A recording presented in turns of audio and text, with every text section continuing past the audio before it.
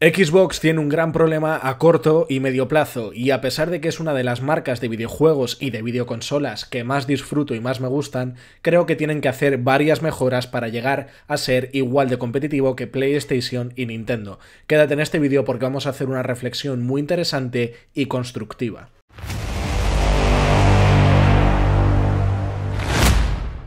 Recientemente hemos conocido que Redfall, uno de los próximos grandes videojuegos de Xbox Game Studios, no va a poder funcionar a 60 FPS de salida. Y para muchos esto a lo mejor será un problema menor o algo que se va a resolver porque estamos seguros de que van a sacar el modo performance, pero para mí es un síntoma de uno de los grandes problemas que tiene Xbox a día de hoy y que todavía no entiendo por qué no resuelven, ya que Microsoft tiene un gran músculo financiero, técnico y de humanos que no tiene que escatimar en determinadas cosas. Así que vamos a repasar en este vídeo algunas ideas, algunas reflexiones que tengo desde hace tiempo sobre la marca Xbox y que creo que deben de servir para mejorar la marca. Si piensas que esto es un vídeo para tirar hate o para generar odio o una guerra de consolas, déjame decirte que estás en el canal equivocado y en el vídeo equivocado. Yo soy bastante nuevo en la marca Xbox, de hecho Series X es la primera videoconsola que tengo de Xbox, pero eso no significa que no haya seguido de cerca la marca desde hace tiempo. Por ejemplo, en la época de Xbox One estuve a punto de comprarme una Xbox One,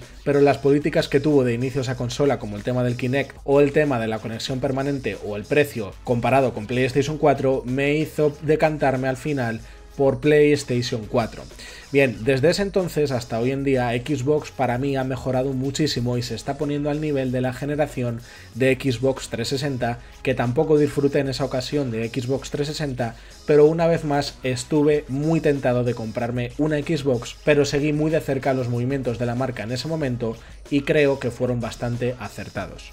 Bien, como comentaba antes, hemos conocido recientemente que Redfall no va a funcionar de salida a 60 FPS. Y la verdad es que no entiendo muy bien por qué ocurre esto, puesto que es un juego que se ha retrasado, que es un juego que técnicamente está bien pero no es nada revolucionario y que no entiendo cómo Microsoft no ha optimizado el juego aún más para poder sacarlo a 60 FPS de lanzamiento. Yo me lo tomo un poco al siguiente nivel y es ¿por qué Microsoft o Xbox, mejor dicho, últimamente no está mimando como debería a sus usuarios? ¿Ya que me refiero? Vamos a poner otro ejemplo y es el caso de Halo. Halo para mí es el buque insignia y para muchos de la marca Xbox y todos hemos visto lo que ha pasado con Halo Infinite. Lo que ha pasado con Halo Infinite ha sido sacar el juego por trozos. Sí, repito, ha sido sacar el juego por trozos. Y el que no esté de acuerdo pues simplemente tiene que basarse en los hechos y ver cómo ha salido por un lado el modo campaña, cómo ha salido y en qué estado por otro lado el modo multijugador y cómo ha salido por otro lado el modo cooperativo. Por cierto, a día de hoy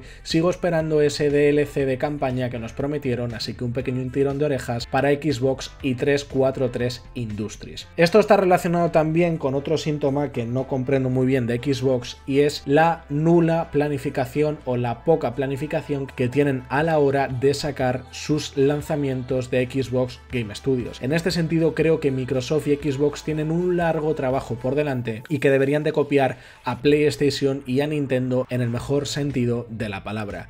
PlayStation te podrá gustar más o te podrá gustar menos, pero en 2020 tuvimos por ejemplo Demon Souls Remake y Spider-Man Miles Morales. En 2021 tuvimos Returnal y Ratchet Clank y en 2022 tuvimos Horizon Forbidden West, Gran Turismo 7 y God of War Ragnarok. La cosa no termina ahí porque en 2023 tenemos ya anunciado Spider-Man 2, que es un gran mega triple A, y probablemente tengamos algún lanzamiento más exclusivo de PlayStation Studios porque estamos a la espera de varios State of Play y de un PlayStation Showcase. Suscríbete a este canal, dale un fuerte like si te está gustando y recuerda que puedes unirte para tener ventajas exclusivas como acceso anticipado a los vídeos o aparecer en los créditos de cada vídeo. Si os dais cuenta, aquí PlayStation ha cumplido dos factores que a mí me parecen esenciales a la hora de comprar una videoconsola. El primero de ellos es tener títulos exclusivos de lanzamiento que Xbox no tuvo, porque si recordamos en 2020, Xbox Game Studios no tuvo ningún tipo de lanzamiento. Por lo menos en PlayStation tuvimos Demon's Souls Remake y Spider-Man Miles Morales. Y el segundo factor que para mí cumple muy bien PlayStation es tener una muy buena planificación de lanzamientos AAA exclusivos y hacer un buen marketing y hacer una buena comunicación a la hora de presentar estos títulos. Obviamente PlayStation ha cometido errores como por ejemplo no hacer eventos o incluso retrasar lanzamientos de videojuegos, pero es que en el otro lado Xbox ha hecho más o menos lo mismo, incluso peor, porque por lo menos en PlayStation hemos tenido los tres años de existencia de la consola títulos exclusivos de PlayStation Studios, pero de Xbox Game Studios creo que no podemos decir lo mismo. En el lanzamiento de Series X y Series S no tuvimos ningún tipo de lanzamiento. A mí esto ya me pareció un gran error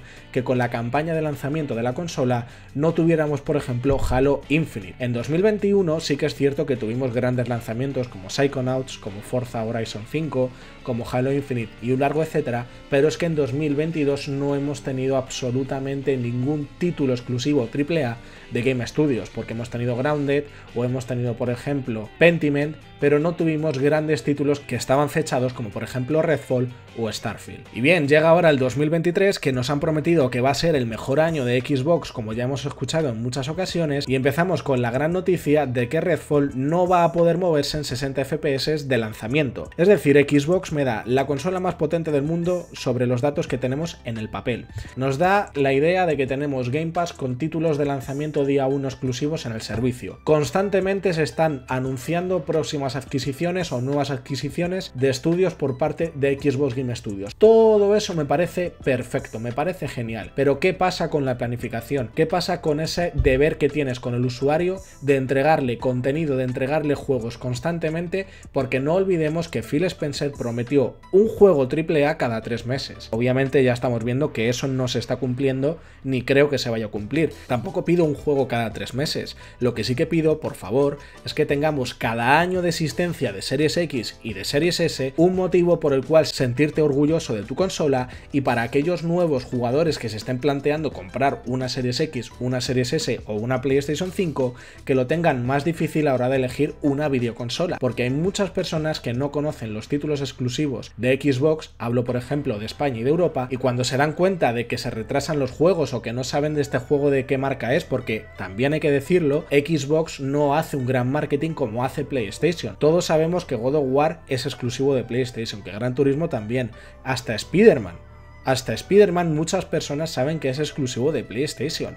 Y luego hay gente que va a la tienda Game o va a MediaMar o va a Amazon y busca Forza Horizon 5 PlayStation 5. Eso es un síntoma de que la gente no tiene conocimiento de los títulos exclusivos de Xbox Game Studios. Y eso no es culpa del usuario en parte, es culpa también de la marca de que no está haciendo sus labores y sus deberes de comunicación y de marketing. Por eso digo que creo que Xbox tiene serios problemas a medio y corto plazo. Uno, en la planificación Dos, el de ese trato al usuario de entregarle un producto final bien hecho, trabajado y que tengan directamente todo el juego completo sin tener que esperar a entregas o fascículos como si esto fueran enciclopedias. Y luego además mejorar el trabajo interno de los estudios de Xbox. Todos sabemos lo que ha pasado con 343. Todos estamos viendo lo que está pasando en Bethesda que yo ni entiendo cómo puede ser. Que Zenimax Studios, que ahora tiene el apoyo de Microsoft, saque Redfall un juego multijugador que no va a demandar de grandes apartados técnicos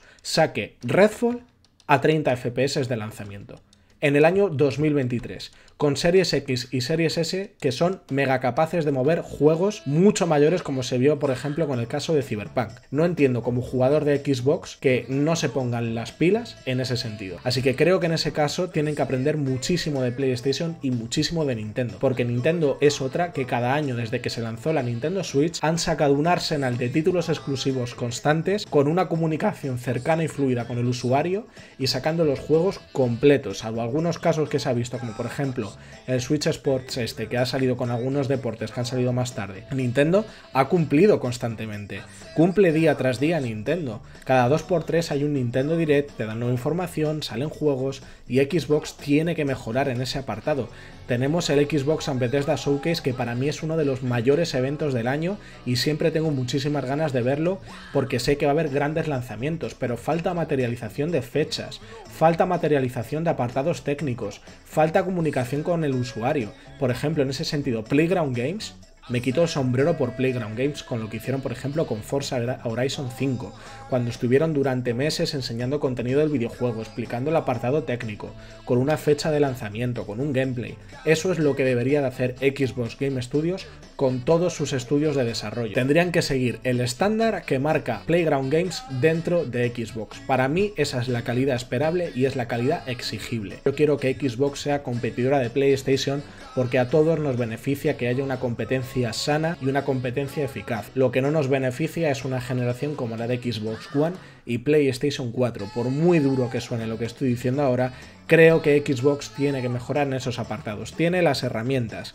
tiene la estructura, tiene los servidores, tiene los recursos humanos, tiene los recursos técnicos, tiene los recursos económicos. ¿Qué más le falta a Xbox para estar a la vanguardia del mundo de los videojuegos y hacer algo similar a lo que hace PlayStation? No me refiero a que tengan que sacar ahora títulos narrativos o que tengan que hacer títulos con un fuerte componente eh, de historia, no estoy hablando de eso. Microsoft puede seguir haciendo juegos multijugador o juegos de rol o juegos como ellos consideren. A lo que me refiero es, por favor, una mejor planificación, una mejor optimización y una mejor comunicación con el usuario. Y ojo, PlayStation también tiene que mejorar muchísimo y Nintendo también. Todos tienen que mejorar, pero creo que esto de Redfall es síntoma de un problema que tiene Xbox desde hace tiempo y que creo que tienen que mejorar de una manera muy seria. Dicho esto, yo voy a seguir disfrutando de títulos como Halo, como Yes of War o como Forza Horizon y otros títulos que van a llegar a Game Pass y a Xbox como Hellblade 2 o a Pero eso no significa que yo tenga que estar ciego y que no quiera ver lo que está ocurriendo. Y lo que está ocurriendo, chicos, es que en 2023 Redfall se lanza a 30 FPS. Para mí no es de recibo, no es aceptable y si todos tomáramos esta actitud que estoy tomando yo ahora, seguramente Xbox o retrasaría el juego un poco más o contrataría gente adicional para crear un equipo que se base única y exclusivamente en optimizar el título para que salga a 60 FPS el 2 de mayo, que era lo que todos esperábamos y es lo que deberíamos exigir si queremos una Xbox competitiva y una Xbox de calidad. Me gustaría que me dijeras en comentarios qué opinas de todo esto, que seas respetuoso con los demás y que todos tratemos de aunar fuerzas para que Xbox trate a los usuarios y saque juegos con la calidad que todos y que seguro que van a hacer. Pero esto de Redfall para mí es una piedra en el camino.